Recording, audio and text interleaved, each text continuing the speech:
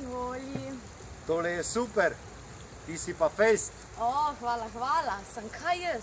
Rimske so fejst. Se vidimo v petek 3. in v soboto 4. junija. Rimske So so fejst. Rimske so fejst, Mambo Kings. V petek 3. junija ob 21. Tradicionalna golažijada, vidi resnik in petkova pumpa pa v soboto 4. junija. Rimske so fejst. Dvodnevno dogajanje bo v velikem šotoru pred Akvaroma v rimskih toplicah.